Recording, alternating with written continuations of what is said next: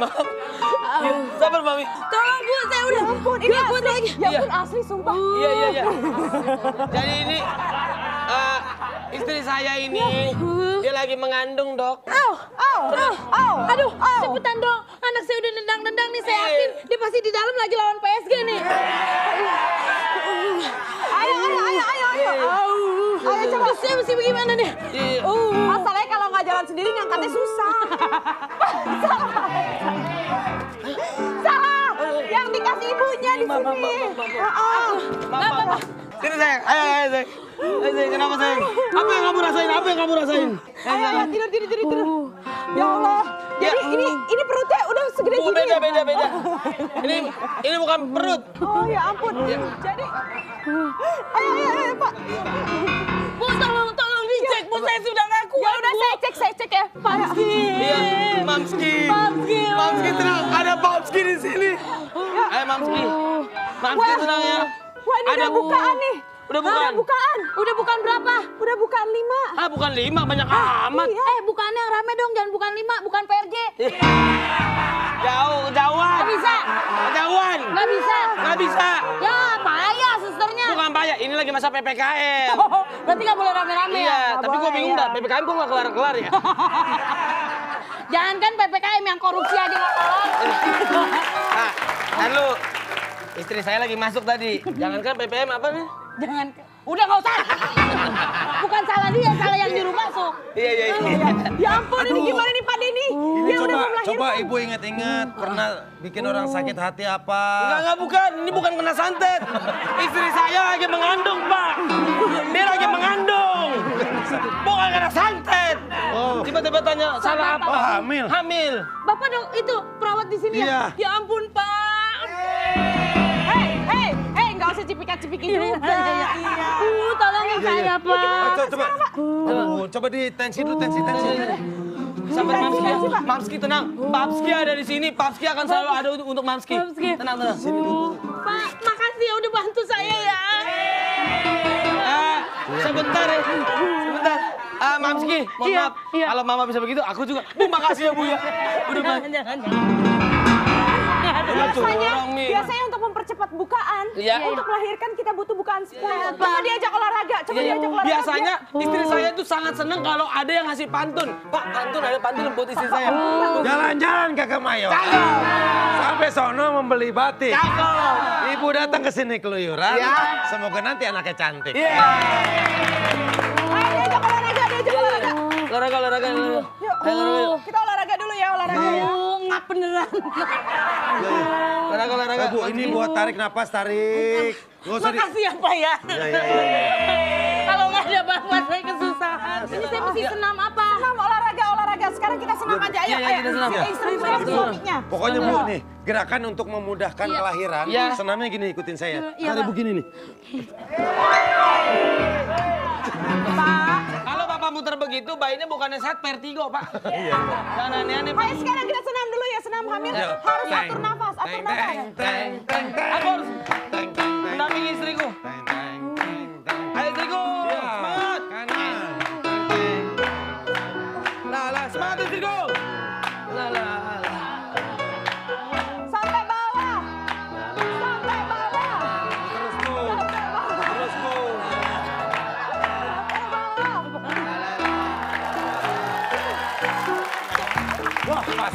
nih. Ini dok, ada orang hamil dia mau melahirkan gagasan. Oke. Bikin batik sambil sambil Sebentar. Sebentar, mau dokter. lahir di klinik Tandea. Iya. Ya. Batiknya, ma- batiknya mana dok? Batiknya mana? Batiknya mana? Bikin batik. Bikin batik. Jangan lupa.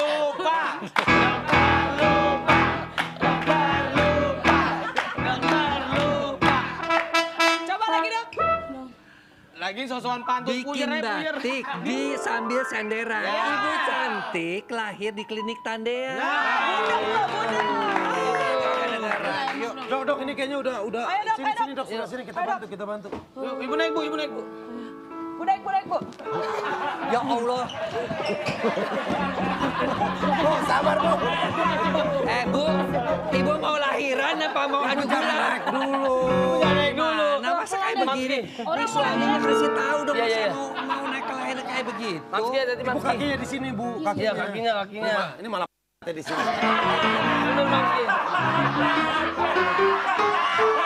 Ya. Kamu temenin, ya lihat kontraksinya Saya sudah berapa ya pegangin. Ya udah. Bukan di Bukan sini. ini, bukan ini. Bukan kamu dulu temenin. Tuh lihat tuh. Kamu lihat kontraksinya sudah Oh, berapa iya, iya, menit iya. sekali. Mau Ya. Eh, Pak, saya aja lihat. Dokter, Kenapa? anak saya udah dada-dada. Belum. Papa, papa. Ini masih ada di sini. Kalau udah dada-dada lahirnya sungsang Iya iya itu. iya iya iya. Iya dok, ini kontraksinya masih bukan lima dok. Iya dok. Ya kalau kan masih lima tuh berarti Masih lima lima. jam lagi. Di fase melahirkan tuh ada tiga fase. Nah. Pertama adalah fase kala satu. Bu- dari bukaan satu sampai bukaan sepuluh. Ya. Oke. Yang kedua, kala dua. Itu dari mulai bukaannya lengkap sampai proses persalinan selesai. Oke. Oke. Kemudian kala tiga pada saat melahirkan plasenta keluar. Oh. Nah ini semua punya waktu-waktu tertentu. Kalau ini kan baru anak pertama kan. Ya. Kalau anak pertama bisanya 12 jam. Tapi kalau anak kedua, ketiga, per- proses kala satunya bisa cepat. Bisa sekitar 6 jam. Ini Dokter, dokter. pakaiin saya baju. Udah pembukaan kayaknya cepet banget nih Dokter dia. seben- sebenarnya untuk cara ngatur napas yang benar Ya itu gimana? cara ngatur nafas yang bener kayak Ya. begini. Nih, Coba tunggu dulu ya. Kalau kamu mulai sakit banget, ya, kamu napasnya cepetin. Jadi jangan kamu ngedenin. Ini belum terjadi pembukaan. Ya, belum terjadi pembukaan. Saya nggak usah. Pakai bajunya, dokternya aja. Bukan bapak pakai, juga. Saya kan asisten dokter, bukannya harus Asisten nempel. bajunya sendiri. Oh, sendiri. Siapin dulu ya. Mana Ya ini? ya ya duduk. Ayo atur nafasnya. Tarik, buang. Kalau kamu mulas jangan digedenin dulu. Nanti itu serviknya bisa bengkak. Kalau belum waktunya, belum terbuka lengkap, sudah ngeden-ngeden, nanti bisa disesar. Tapi kamu kan boleh rencananya nggak boleh. eh, sini. Beda beda beda. Nanti kalau kamu udah merasa eh, apa pembukaannya lengkap, kakinya direntangkan sekuatnya ya. Jadi dibuka seperti itu. Oh, gitu, Dok. ya, kemudian lehernya kamu naikkan ke atas di sini. Oh gini dok. Nah, ininya terbuka eh, ini. Selin Oh, coba gini, kamu liatin. Iya ya dok, bentar dok. Dan Selin jangan jangan cuman Gak bisa. berkaca-kaca aja, ini liatin. Iya dok. Ya dok, ya dok, dok, dok. Jadi kan kita kalau misalnya Dok, pakai dok. Dok, anak saya mau main futsal dok. Ayo dong dok. gimana sih dok caranya kalau misalnya Coba kamu coba. untuk suami-suami biar bisa menenangkan istrinya pada saat kondisi lagi mau Gini melahirkan. Jaga-jaga, Dok, pegangin, takutnya kurang pegangin oksigen. tangannya begini. Sebentar dok. Kenapa? Takutnya kurang oksigen. Kurang oksigen pala lu kepentok pala gua. Oksigen. Eh, jadi ngapain oksigen dibawa-bawa ke sini? Ini ngapain lagi? Ya Allah, nggak usah divideoin. Video ngeplok ngeplok dok. Daripada kamu pegang video begini, pegangin. Cara menenangkan istri Nah, ayo, pegang ayo. Coba, coba, Nih, pegang, pegang tangannya. Nah, ini Bilang, untuk- nanti kalau mama pas mau ma- udah ngerasa banget, nanti aku bantuin dorong sedikit. Jadi mama pegang bener-bener ininya, Siap. tarik kakinya ke sini, Oke. ya kepalanya harus dinaik sambil di sini, supaya tekanannya itu keluar eh, ke ke bawah. Iya, iya, Jadi iya. gampang untuk dokternya juga untuk menolong persalinannya itu. Nah, ini, ini jadi ini penting Oke. buat suami-suami. Coba kamu siapin eh, suntikan buat setelah dia melahirkan sintosinonnya. Ya tunggu dok, tunggu dok, saya cari dulu dok. Eh, Mamski, Mamski. Papski. Mamski tenang ya. Abigail, Abigail kamu tenang ya. Habis pakai Abigail. Udah dok, udah dok. Eh, Ini beneran loh. Nah, nanti kalau udah melahirkan, dengar ya. Eh, Enggak, eh. Eva, Enggak, bohongan doang. Eh, dengar. Eva, itu ada bapaknya. Suntikan ini hanya dikasih. Suntikan ini hanya dikasih kalau sedang melahirkan kamu. Supaya perutnya kembali kecil. Tenang, tenang, tenang. Ini bohongan Sabar, sabar. Si Mimin emang takut jarum suntik. Iya tapi Dia anggap udah kagak bakalan Iya, disuntik. nggak disuntik. Nanti setelah bayinya lahir, nanti lahirnya ari-ari. Jadi tenang aja, bayinya akan ditaruh di tempat bayi. Jadi kamu nanti bisa ngelihat Iya, berdua Dok. ya. Ari-ari Dan siapa? Bukan anak saya. Hah? Anak Ari-ari bukan anak saya. Ari-ari Enggak. itu. Ini ari-ari. Wah dok, Iya. udah mulai kontrakan nih. Kontraksi. Kontraksi. Nah dok, kalau udah waktunya bayi mau keluar itu berarti misalnya ciri-cirinya apa yang terjadi sama ibu? Ciri-cirinya kontraksinya 1 sampai 2 menit sekali.